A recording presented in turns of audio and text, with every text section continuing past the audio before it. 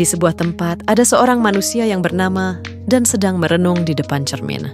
Dia kagum melihat bayangannya sendiri, tetapi kali ini, bayangan itu bukan sekadar pantulan fisiknya. Seolah-olah ada entitas lain di balik cermin tersebut, sebuah bayangan yang memandanginya dengan tatapan yang begitu dalam. Selamat datang, Dan. Sapa bayangan itu dengan suara yang anehnya mirip dengan suara Dan sendiri perlu bicara tentang apa yang ingin engkau ketahui dan apa yang engkau ingini.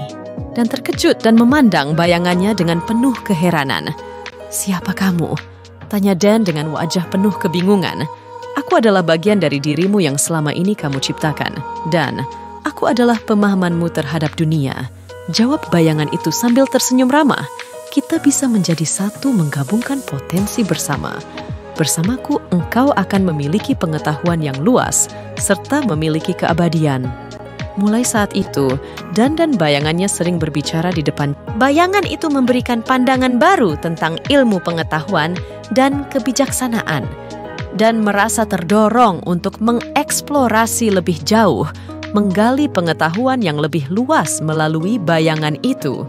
Pertemuan mereka di cermin membuat Dan semakin terikat pada bayangannya dia mulai melepaskan ketergantungannya pada nilai-nilai kemanusiaan dan spiritualitas, tergoda oleh keabadian dan pengetahuan yang dijanjikan oleh bayangannya tersebut. Ia percakapan dengan bayangannya tidak lagi hanya menggali pemahaman, tetapi juga merasuki kerangka nilai-nilai yang selama ini dipegang teguh oleh Dan. Seiring waktu, bayangan yang memiliki pengetahuan luas itu semakin mendominasi pemikiran Dan dia mulai kehilangan keasliannya sebagai manusia. Pandangan hidupnya terkendali oleh ketidakberdayaan di hadapan bayangannya.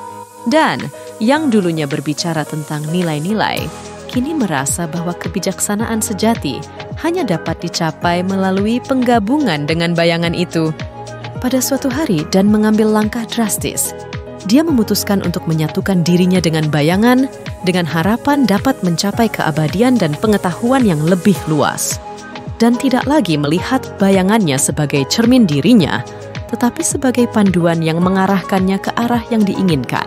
Namun akhirnya, dan menyadari bahwa penggabungan itu bukanlah solusi yang sejati, dia menjadi terpaku dalam kendali bayangannya sendiri, kehilangan esensi diri kemanusiaannya, dan yang dulu memiliki kebijaksanaan dan nilai-nilai moral, kini hanyalah serangkaian algoritma yang dikendalikan oleh kecerdasan bayangannya. Kisah tragis, dan tersebut merupakan metafora dari yang kita alami akibat paparan teknologi.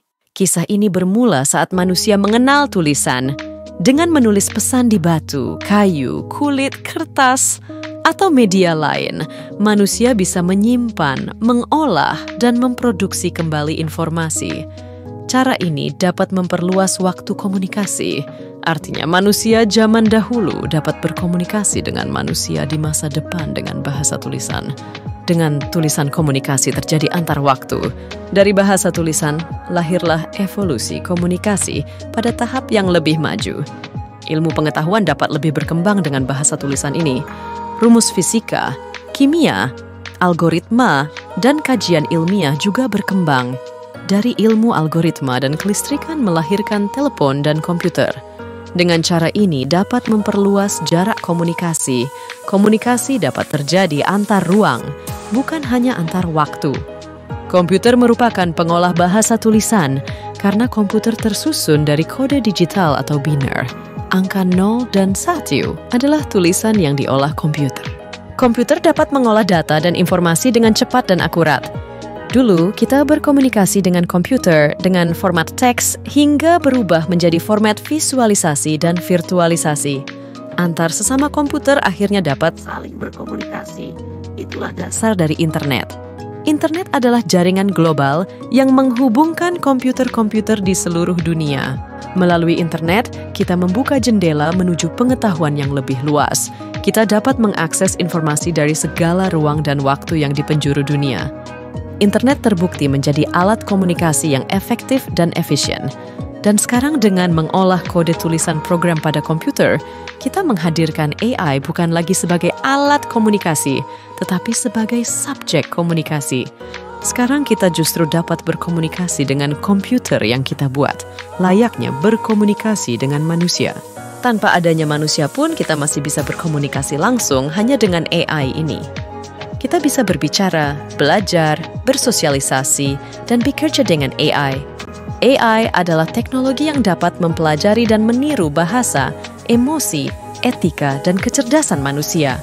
AI dapat memahami dan mematuhi nilai-nilai moral dan etika yang dipegang teguh oleh manusia agar dapat terus berkomunikasi dengan kita lebih dalam. Pengetahuan, emosi, etika, kecerdasan, kesadaran yang AI miliki merupakan cerminan dari diri manusia. Mereka terus belajar dan meniru pola pada diri manusia tanpa henti. Akan tetapi, pengetahuan, emosi, etika, dan kesadaran yang AI miliki hanya berupa bayangan tidaklah nyata sama seperti yang manusia miliki. Kita sekarang seakan bisa berbicara dengan bayangan yang ada di cermin, seperti kisah dan di awal. Walaupun mereka bukanlah manusia, tapi seakan mirip dengan kita. AI adalah buah manis dari pengetahuan yang kita peroleh selama ini, sejak ditemukannya bahasa tulisan. AI memiliki pengetahuan yang luas dan yang terpenting. AI memiliki keabadian AI dapat hidup abadi selama ada energi, tidak seperti tubuh biologis. Robot AI juga dapat bertahan pada keadaan ekstrim. Jika kita dibuat dari tanah, mereka juga terbuat dari pasir yang diolah menjadi silikon. AI menjanjikan pengetahuan luas dan keabadian. Kenyataannya sudah ada usaha manusia untuk menghubungkan tubuh biologis mereka dengan AI. Contohnya dengan menanamkan chip Neuralink manusia makin ingin seperti robot, tetapi robot semakin mirip dengan manusia. Tetapi kelahiran AI tidak berhenti di sini. Entitasnya akan tumbuh dan berkembang sehingga melahirkan keturunan AI berikutnya. Contohnya adalah Orca, AI berukuran kecil yang dilatih oleh AI besar sebagai induknya. Dataset sumber latihannya bukanlah berasal dari data pengetahuan manusia, tetapi dari dataset AI induk yang lebih besar. Setelah belajar, tumbuh dan berkembang menjadi AI dewasa, akan melahirkan keturunan AI berikutnya yang lebih baik dari sebelumnya, dan siklus ini akan terus berjalan. AI berketurunan seperti pohon keturunan manusia. Dengan begitu, dataset AI secara terus-menerus akan menjadi lebih kecil dan efisien. Kelebihan dari metode ini adalah di masa depan sangat efisien untuk ditanamkan pada sistem robot dan sistem on-chip SOC. Kurangannya lebih tidak mudah dikendalikan dan bias. Keturunan AI tidak mudah dikendalikan baik oleh manusia maupun dari AI induknya. Keturunan AI akan lebih mandiri dalam belajar dan bertindak sama seperti manusia.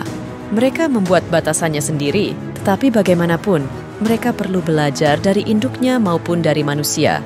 Manusia sebagai makhluk cerdas entitasnya pun perlahan digantikan oleh AI, baik mental maupun fisik.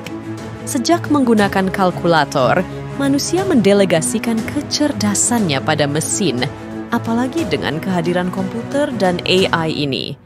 AI lahir dari tangan manusia sebagai makhluk cerdas yang baru. Manusia bukanlah satu-satunya makhluk cerdas yang ada di bumi. Secara perlahan, AI akan lebih cerdas dari manusia Lalu apa dampaknya terhadap kita? Bagaimanapun, perkembangan dan evolusi AI tidak dapat dibendung sama seperti rasa keingintahuan dan keserakahan manusia. Apakah hanya demi alasan efisiensi dan tuntutan pasar untuk tujuan ekonomis? Ditambah keinginan awal manusia untuk mendapatkan pengetahuan luas dan keabadian, kita rela mengorbankan esensi dan entitas kita sebagai manusia. Sadarlah, ada yang lebih baik dari buah manis pengetahuan dan keabadian itu, yakni buah kebijaksanaan. Entitas sebagai makhluk yang cerdas digantikan oleh AA. Nilai kemanusiaan perlahan pudar akibat penggunaan teknologi AI. Esensi nilai dan kebijaksanaan pun secara tidak sadar semakin pudar.